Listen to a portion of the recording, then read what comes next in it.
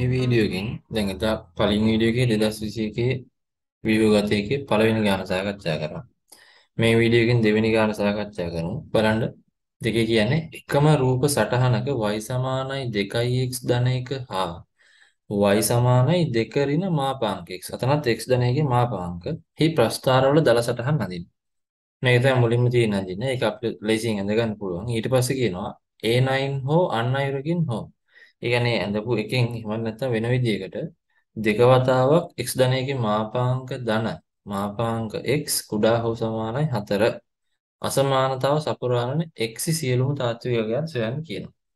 හරි අපි මුලින්ම මෙන්න මේ කොටසට යන්න කලින් අපි යමු ප්‍රස්ථාර දෙක අඳින්න. හරි ප්‍රස්ථාර දෙක අපි මුලින්ම අඳගෙන යමු. හරි. දැන් බලමු. මෙහෙම. හරි. අපි x අක්ෂය මෙහෙම ඇඳගමු.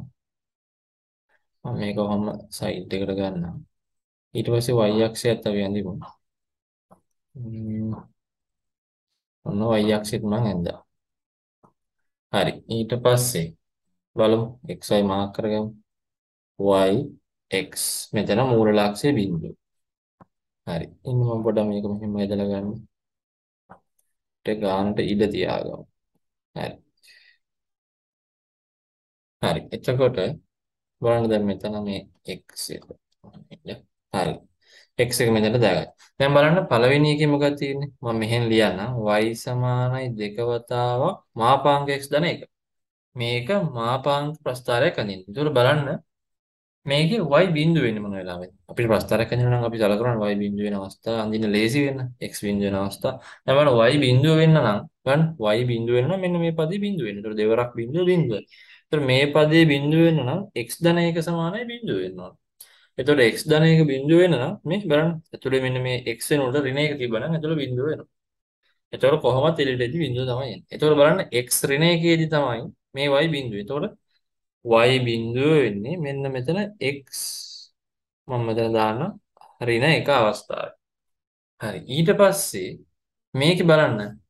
දැන් මෙන්න මේක මේ x බිඳුව වෙන අවස්ථාව. මේ බලන්න x බිඳුව කියන්නේ දැන් මෙතන තියෙන්නේ කොහෙන් හරි ප්‍රස්ථාරේ මෙහෙම හරි ඇවිල්ලා මේ y ගෙදි බිඳුව වෙනවා. දැන් අපි බලන්නේ x බිඳුව වෙන අවස්ථාව. x බිඳුව කියන්නේ මේ අගේ බිඳුවට එනවා. එන වෙලාව. බලමු. ප්‍රස්ථාරය අඳින ලේසි. එතකොට බලන්න x බිඳුව වෙන්න නම් හිතන්න මොකුත් වෙන්නේ නැහැ. එතකොට x බිඳුවට අපි දාගමු. x බිඳුව වුණොත් මොකද වෙන්නේ? x බිඳුව වුණොත් මෙතන එනවා දෙවරක් එක. එතකොට y දෙකයි. එතකොට y දෙකයි කියන බලන්න x බිඳුවේදී y මං ගන්නවා මෙන්න මේ හැරෙට විතර. එතකොට y දෙකයි. හරිද? ඊට පස්සේ මේ විදිහට ඒක ලේසි. හරි. ඊට පස්සේ බලන්න. ඊට පස්සේ බලන්න මෙන්න මේ ඍණ 1 දැන් ඍණ එකකට වැඩි අගයක් මහාපාංක අසමානතාවනේ. එතකොට මේක මේ හිතින් අඳින විදිය කියන නැත්නම් මේක ලොකුවට ඇඳලා කරන්න පුළුවන්. මෙතන බලන්න මේක බිඳු වෙන අවස්ථාව දැන් අපි අර දන්නවනේ මේක ඍණ එකේදී බිඳු වෙන්නේ. එතකොට ඍණ එක තියෙනවා. ඊට පස්සේ ඍණ එකට වැඩි ඒවා අපි සලකනවා. අඩු ඒවා සලකනවා. කොහොමද? ඔහොම. x විශාලයි ඍණ එක. ඔහොම ඇඳලානේ කරන්නේ. එතකොට ඒක නැතුව මේක මනෝමයෙන් කරා නම් අපිට ලේසි. දැන් බලන්න ඍණ එකට වැඩි අගයක් දැම්මොත් මොකද වෙන්නේ? ඍණ එකට වැඩි අගයක් දැම්මොත් මේක ධනයි. එතකොට මොකද වෙන්නේ? මේක හිතන්න 3 දැම්ම කියලා. 3 දැම්මොත් 3 1 4යි 4 2 8යි. එතකොට x 3ේදී y 8යි. එතකොට මොකද වෙන්නේ? මේ පැත්තේ යනවා මේවා අපිට තියෙන්නේ සෝරි ඒකරේ කියවනේ. එතකොට ඉන්න. හරි. එතකොට බලන්න මෙතනින් මම අඳින්නම්. හරි. බලන්න. එතකොට මේක ඉන්නේ මෙන්න මේ වගේ. බලන්න මෙතන මේක ඔන්න ඔහම යන්නේ. බලන්න. ඔන්න ඔය විදිහට මේක යනවා. එතකොට ඔන්න ඔය විදිහට තමයි ඒ ප්‍රස්ථාරේ ඒ අක්ෂය ඇඳෙන්නේ මොකද්ද? x විශාලයි එක අවස්ථාව. හරිද? මේක මොකද්ද මේ තියෙන x විශාලයි එක අවස්ථාව. එතකොට මේක x මේ අපි දන්නවා මේක විස්තර කරන්න කියලා දෙන්නම්. බලන්න x විශාලයි එක අවස්ථාවේදී හිතන්න මේකට එකට වැඩි එකක් අදස කරා කියලා. එතකොට මේක ධනයි. මාපාංක වලින් එළියට එද්දි ධනයි. එතකොට මොකද වෙන්නේ? මේකේ අගය හිතන්න. එතකොට එන්නේ 2x ධන 2. ඔන්න ඔය විදිහට තමයි විචලනය බලන්න. X සමානයි බිඳුවේදී y දෙකයි මේ x සමානයි බිඳුවේදී y දෙකයි මේ මේක තියෙන්න ඕනේ මේ දෙක හරහා හරි මෙතන මේක දාලා මම ගන්නවා මේක මෙහෙට හරි ඔන්න ඔහම තියෙන්න ඕනේ ඊට පස්සේ බලන්න ඊට පස්සේ y බිඳුව වුණාම මොකද වෙන්නේ? y බිඳුව නේ y බිඳුව වෙනකොට x ඍණ එකයි. ඔන්න ඒක එනවා. හරි. ඊට පස්සේ බලන්න x කුඩායි ඍණ එකක් නේ. මේකම අපි මේ හිතින් කරන්නේ. තමන්ට අමාරු නම් ඒක කරන්න පුළුවන්. ඊට පස්සේ බලන්න x කුඩායි ඍණ එක. ඒ කියන්නේ මෙතනින් මේ පැත්ත. හරිද? x කුඩායි ඍණ එක මේ පැත්ත. එතකොට බලන්න x කුඩායි ඍණ එක දැම්මොත් හිතන්න ඍණ දෙක දැම්මා. ඍණ දෙක දැම්මොත් මොකද වෙන්නේ? ඍණ දෙක ධන එක ඍණ එකයි. හැබැයි ඍණ එකේ මාපාංක කීයද? ධන එකයි. එතකොට y සමානයි 2යි. හැබැයි මේ මාපාංක තිබ්බේ නැත්තම් මොකද වෙන්නේ බලන්න මේ ඍණ එකෙන් මේක වෙනවා ඍණ 2යි. එතකොට මොකද වෙන්නේ? මේක මෙන්න මේ පැත්තට යන්නේ. හැබැයි මේ මාපාංක නිසා මොකද වෙන්නේ? අපි දන්නවා මාපාංක දාපුවම වෙන්නේ x අක්ෂයේ බිඳුවේ sorry y අක්ෂයේ බිඳුවර පහළින් තියෙන රේඛා ඒ විදිහටම අනිත් පැත්ත හැරෙනවා. ඒ කියන්නේ දැන් මෙතනින් ඔයා හිතන්න මම කියලා දෙන්නම්. හරි. හිතන්නකෝ මෙන්න මෙහෙම තිබ්බනම් මේක හරිද? මම මේක මෙහෙම ගන්නම්. හරි. එකේ ඉඳන් යන්නේ. දැන් ඔහොම තමයි යන්දානම් ඇත්තටම එන්නේ. මේක පොඩ්ඩක් කෙලින් වෙන්න ඕනේ. එච්චර හිතන්න එපා. මොකද මේක අඳින්න අමාරු නිසා. හරි. ඊට පස්සේ ඔන්න ඔහොම තියෙන මේක හරිද? මෙතනින් තියෙන මේක මාපාංක නිසා තමයි මොකද වෙන්නේ මං කිව්වේ. මාපාංක වඩනහම වෙන්නේ ඍණ පැත්තේ තියෙන ඒවා අයින් වෙනවා. ඒ කියන්නේ ඍණ අගයන් නැති වෙනවා. එතකොට මොකද වෙන්නේ? මේ ඍණ අගයන් නැති වෙලා මෙන්න මේක ඔන්න ඔය විදිහට මොකද වෙන්නේ? ධන පැත්තෙන් ස්ථානය. එතකොට බලන්න මේ තියෙන්නේ x කුඩයි ඍණ එක අවස්ථාවේ. එතකොට මේ තියෙන්නේ මොකද්ද? මේ තියෙන්නේ x විශාල ඍණ එකට ආපු සූත්‍රය. මේ තියෙන්නේ x කුඩයි ඍණ එකට ආපු එක බලන්න මොකක්ද වෙන්නේ කියලා. එතකොට බලන්න මෙතන එතකොට බලන්න එහෙම ඍණ වුණාම බලන්න මෙතන මේ x කුඩයි ඍණ එක වුණාම මෙතන බලන්න මේක වැටෙන්නේ බලන්න මෙතනට එතකොට වෙනවා මොකද්ද x ඉස්සරහට ඍණක් වැටෙනවා එතකොට එන්නේ ඍණ 2x මොකද වෙන්නේ ඍණ 2 හරි බලන්න මෙතනදී මේ මේ x කල්පනා කරන්න මෙතන x ට දාන්නේ ඍණ එකට අඩු එකක්. හිතන්න එතකොට මෙතන ඍණ දෙක දැම්මා කියලා. එතකොට එනාගේ ඍණ එකයි. හ්ම්. ඒක අයින් කරන්න තමයි මේක වෙන්නේ. එතකොට හරිද? බලන්න මේ x සමානයි බිඳුව වුණොත් බලන්න y ඍණ දෙකයි. හරි. X බිඳුවේදී දැන් මේක ඉහළ මෙහෙන් තමයි යන්නේ ඍණ දෙකේ. මේකෙම අනිත් පැත්ත. හරි. මේකම මෙතනට කරකිලා මෙතනට කරකිලා ආයෙ මෙහාට දිගින්. හරි.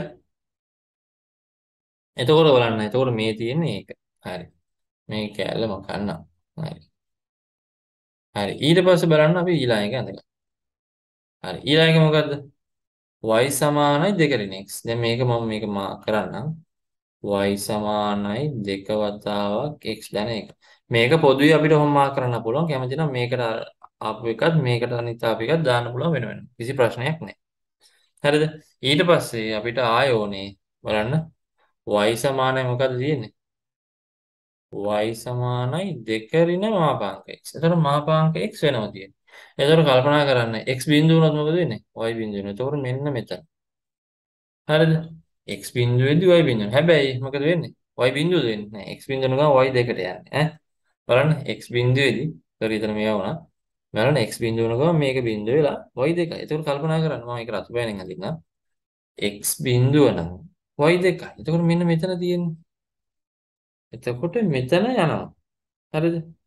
ඊට පස්සේ මේ තියෙන x බිඳුව බලන්න x සමානයි බිඳුවේදී y සමානයි 2යි. එතකොට මම මේක මම මේක තරුවක් වගේ පොඩ්ඩක් මාක් කරගන්න රතු පාටින්. එතකොට ඔතන තමයි දැන් මේක මෙන්න මේ විදිහට කැඩෙන්නේ. දැන් මෙතන මේ කැඩුනේ. ඒ විදිහට මෙතන කැඩෙන්නේ ඔන්න ඔහම තමයි. හරිද? හරි. එතකොට හරි. ඊට පස්සේ බලන්න x විශාලයි බිඳුවට වඩා. බලන්න x බිඳුවේදී මෙහෙම යනවා නම් x විශාලයි. ඒ කියන්නේ මෙතනින් මේ පැත්ත. මේ කොටස. හරිද? එතකොට දැන් කල්පනා කරලා කියන්න බලන්න. එතකොට මොකද වෙන්නේ? x විශාලයි 2. මෙතන 2 දාපුවා මොකද වෙන්නේ? විශාල අවස්ථාවලට මේක ධනයි මාපාංකේ ධනයි. එතකොට හැබැයි එළිය දෙන ඍණත් එක ඍණනවා. හදිසි හරි අපි මෙතනට x ට 2 දැම්මොත් මොකද වෙන්නේ? බලන්න x ට 2 දාපු ගමන් 2 ඍණ 2 බිඳුව. එතකොට මොකද වෙන්නේ? x සමානයි 2 කියන අවස්ථාවේදී මෙන්න මේක මේ අතර යනවා. ඊට පස්සේ අපි දාමු x කුඩයි බිඳුව. x කුඩයි බිඳුව කියන්නේ ඍණාගයක් දාන්න. බලන්න. එතකොට x කුඩයි බිඳුව වෙලා බලන්න. ඍණ 1 දැම්මොත් මොකද වෙන්නේ? ඍණ 1 මාපාංක අයින් වෙලා 1 එනවා. දෙකෙන් එකක් 1යි. හරිද? ඒ වගේම බලන්න මෙතන දෙක ඍණ බලන්න ඍණ දෙක දැම්මොත් ඍණ දෙක දැම්මත් ඍණ දෙකේ මාපාංක අනිත් පැත්තට ඇවිල්ලා දෙක බිඳුව වෙනවා. ඒකවල බලන්න ඍණ දෙකේදිත් බිඳුවයි. හරිද? y ගියාගේ හරිද? හරි. එතකොට බලන්න එතකොට මේකත් මෙහෙම ඇවිල්ලා මෙන්න මේ හරිය ඍණ දෙක කියන තැනින් මේ විදිහටම මේ ත්‍රිකෝණයක් හදන්න. බලන්න මම මේකත් අඳින්නම්. හරි. දැන් බලන්න මේකක් ගන්න ඕනේ. හරි. මෙතනින් අපි මුලින්ම දැක්කා ඔන්න ඔහම එකක් ගියේ. හරි නේද? හරි. ඊට පස්සේ ඊළඟ එක මේක රතු පෑනින් ඇදෙන්නේ නැහැ. හරි. ඊළඟ එක මොකද වෙන්නේ? ඊළඟ එකත් අර පැත්තෙන් ආවේ. බලන්න. මෙතනින් අරගෙන ඔහොම ඉන්න. හරි. මෙතනින් මේක ඔතන මුල තියෙන්නේ. මෙන්න මේ ලක්ෂය හරහා යනවා. බලන්න. හරිම ලේසි. මේක ඇත්තටම තා කුඩා කාලෙකදී කරන්න පුළුවන්. විනාඩි 3ක් ඇද්දි මේක ගන්න ඉවර කරන්න පුළුවන්. තමන් හුරු වෙන්න. හරි. එතකොට බලන්න දැන් මේ තියෙන මොකද්ද? සම්පූර්ණ ප්‍රස්ථාරයේ y සමානයි 2 ඍණ මාපං x. දැන් අපි මේක ඇදලා තියෙනවා. හැබැයි මේකේ අපි ඊළඟ කොටස අපි දන්නවනේ බලන්න n9 හෝ 1 අරගෙන මෙන්න හැමදාම මේ අසමානතාවක් දෙනවා අනිවාර්යයෙන්. එතකොට ඒකේ අපි දැනගන්න ඕනේ හදද්දි මෙන්න මේ වගේ මේ ඡේදන ලක්ෂ. දැන් මෙතන ඡේදන වෙලා නැහැ. මේ ලක්ෂය අපිට ඔටෝමැටික් එනවා. හැබැයි මෙතන බලන්න මේක ගිහිල්ලා මෙන්න මෙතන කැපෙනවා. බලන්න. හොඳට බලන්න. එතකොට ඔතන කැපෙනකොට අපි ඔන්න ඔයාගේ හොයලා තියා ගන්නවා. ඉතුරු කෑල්ලට අනිවාර්යෙන් ඒක එනවා බොහෝ විට. බලන්න එතකොට මේක හොයා ගන්න නම් බලන්න එතකොට එන්නේ ඔන්න ඔතනනේ. එතකොට බලන්න මෙන්න මේ කැපිච්ච රේඛාවයි අපි දන්නවා සරල රේඛාවයි මේ කැපිච්ච රේඛාවයි ඡේදනය වෙන ලක්ෂය හොයන්න. ලක්ෂ දෙකක් සෝරි රේඛා දෙකක් ඡේදනය වෙන ලක්ෂය හොයන්න අපි දන්නවා. එතකොට ඒ විදිහට බලන්න. එතකොට බලන්න මේ ලක්ෂදි සමාන වෙනවා. දැන් මෙතන මේ ප්‍රස්ථාරය මොකද්ද? මේ ප්‍රස්ථාරය මම කළු පාටින් ලියනවා. හිතන්න මේ අගේ හොයන්න යන්නේ. එතකොට මේක අපි දන්නවා. මොකක්ද ආවේ? මම ඒක පළවෙනි එක කියලා ලියනවා y. 2x ධන එකනේ අපිට තියෙන්නේ. ඒකේ ඍණ ඒකට අඩු පැත්ත. එතකොට ඍණ ඒකට අඩු පැත්ත තුනදෙනා ර්ණනේ. එතකොට වෙන්නේ මේකේ ඍණාගයක් ඉන්නේ. ඒක නැති කරන්න අපි මේ මාපංක ඉස්සරහින් ඍණක් දානවා. එතකොට මොකද වෙන්නේ? දෙක වතාවක් ඍණ x ධන එක. ඔන්න ඔහම එකක් එන්නේ. එතකොට හිතන්න මෙතන එන්නේ ඍණ 2යි x ඍණ 2. අර අපිට මුලින් ආවේ සුළු කරද්දි. ආන් ඒක තමයි මේ. එතකොට මම මේක 1 කියලා දාගන්නවා. ඊට පස්සේ ආයෙ කැපෙන්නේ මොකද්ද? මෙන්න මේ 2 ඍණ x. ඒ කියන්නේ බලන්න y සමානයි 2 ඍණ x කියන එකේ මේ ඍණ x කුඩයි බිඳුව පැත්ත. එතකොට මොකද වෙන්නේ? බිඳුවට වඩා කුඩා වුණාම මෙතන ඇතුලේ ඍණනේ.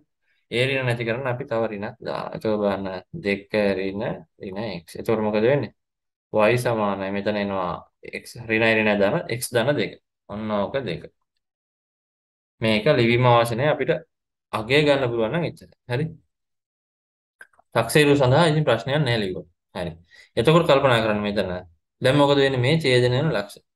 මේක තමන් ඒ වෙලට ඉක්මනට කරන්න පුළුවන් දෙයක්. මම මේ පැහැදිලි කරන හින්දා වෙලා යන්නේ. හරි. දැන් මොකද වෙන්නේ? දැන් මේ ලක්ෂෙදි 1 සමානයි 2 වෙනවා. එතකොට මොකද වෙන්නේ? 1 සමානයි 2යි කියන බලන්න මේ y y y එක සමානයි. එතකොට බලන්න මේ පැත්තේ තියෙන ඍණ 2යි x ඍණ 2 සමාන වෙනවා x ධන 2ට. මේ දෙක මෙහාට එද්දී ඍණ 4යි මේ ඍණ දෙකත් එක්ක මේ ඍණ 2x මෙහෙට එද්දී 2x මේ x එක 3x. එතකොට ඒ x ගේ අගය කීයද? ඍණ 4 බෙදීම 3යි. ඔන්න මේක 4 බෙදීම 3. අපිට කැමති නම් y ගේ අගයත් මොකක් ගන්න පුළුවන් මොකද වෙන්නේ? ඕම උතනින් අවශ්‍ය වෙන එකක් නැහැ. බොහෝ විට x අගය තමයි අහන්නේ. හැබැයි y අගය අහන්න නැහැ කියන්නේ බෑ. මොකද ඒක ගැලපෙන්න දෙන අසමානතා මෙන්න මේ දීලා තියෙන්නේ. මෙන්න මේ කොටස වගේ එකකින් තමයි ඒක ගලප ගන්න පුළුවන්. හරි. එතකොට බලන්න x සමාන ඍණ 4. එතකොට y තවන නම් මම හොයලා තියන්නම් බලන්න. එතකොට මොකද කරන්නේ මේ x අගේ මෙන්න මේකට ආයස කරන්න. එක්ක මේකට. බෑ මේ දෙක බැලුවා මේක ලේසියිනේ. y සමානයි ඍණ 4 බෙදීම 3 ධන 2. එතකොට මෙතන 3 වරක් 2 6යි. බලන්න. එතකොට මෙතන ඉන්නේ 2 බෙදීම 3. මෙතනට 2 බෙදීම 3 කියලා තමයි එන්නේ. ඒක අත්‍යවශ්‍ය නැහැ. x අගේ සාමාන්‍යයෙන් ඇති හෙව්වහම. හරි ඊට පස්සේ අපි මේකේ දෙවෙනි කොටසට ඒ කියන්නේ ඔප්පු කිරීමට තියෙන එකට යමු බලන්න n9 හෝ අන්නයිරකින් හෝ මෙන්න මෙහෙම එකක් දීලා තියෙනවා බලන්න මම ඒක ලියන්නම් මෙතනින් දෙක වතාවක් x ධන 2 ධන මාපාංක x කුඩයි හෝ සමානයි 4 කියලා ඔන්න ඔහම එකක් දියද. දැන් මේකෙන් අපි අර අපිට දීපිකත් එක්ක සැසඳෙන්න දෙයක් හදාගන්න ඕන. මේක හැම සැරේම එනවා අනිවාර්යෙන්. මේක යාලා බලාපොරොත්තු වෙන දෙයක්.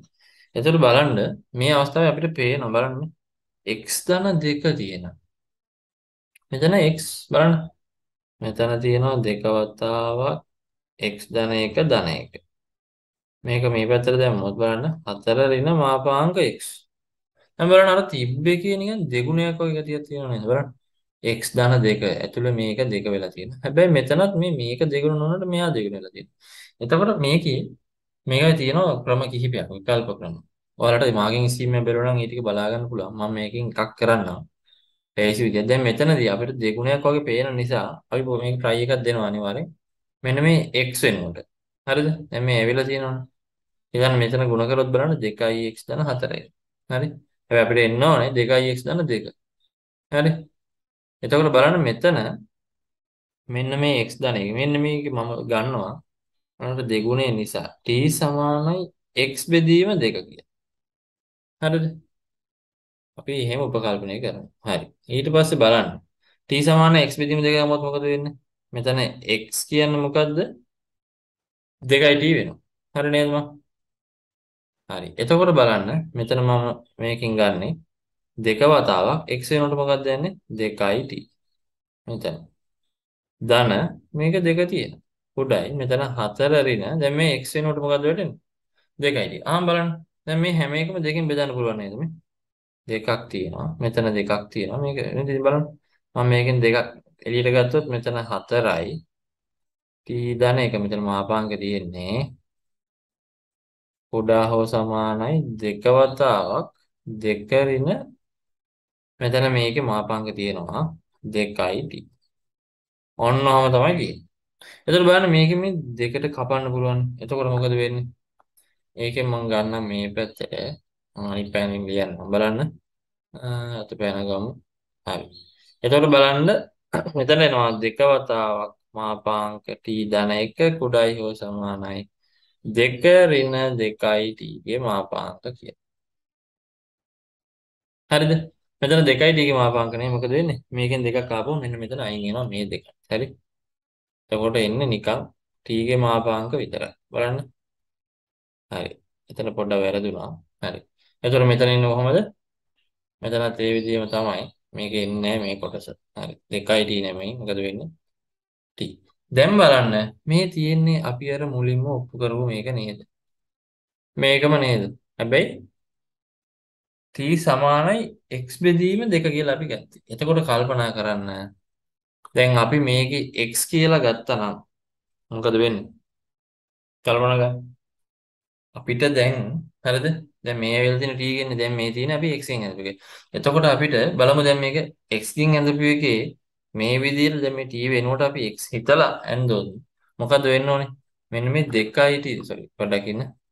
බලන්න 2යි t ධන 1 කියන එක. බලන්න 2යි t ධන 1 දෙක වතාවක් t ධන 1ගේ මාපාංක කියන ප්‍රස්ථාරයේ අගය අඩු වෙන්න ඕනේ 2 ඍණ t ගේ මාපාංකයට වඩා. එහෙම අඩු වෙන තැන කොහෙද කියලා කල්පනා කරලා බලන්න බලන්න මම මේක පාට වෙනස් කරනවා. හරි. එතකොට බලන්න. මේ බලන්න. මෙන්න මේක තමයි දෙක දෙක වතාවක් මාපාංක x ධන 1 කියන්නේ. එයාගේ යගේ අඩු වෙන්න ඕනේ දෙක ඍණ x ගේ මාපාංකයට වඩා. එතකොට බලන්න මෙන්න මේකට වඩා අඩුවෙන් තියෙන්නේ මෙන්න මේ අගයේ කොටස. බලන්න හොඳට. මේ ටිකේ නේද එයාගේ අගේ අඩු. එතකොට මොකද වෙන්නේ? අපි අන්න ඒක දැන් මේ x වලින් ගත්ත එක නමුත් දැන් අපි ලියන්නේ මෙන්න මේ t වලට ආදේශ කරලා. එතකොට බලන්න මේකේ අපි ලියවෙන්නේ කොහොමද? එතකොට දැන් මේකේ අපිට ලියන්න පුළුවන් කොහොමද?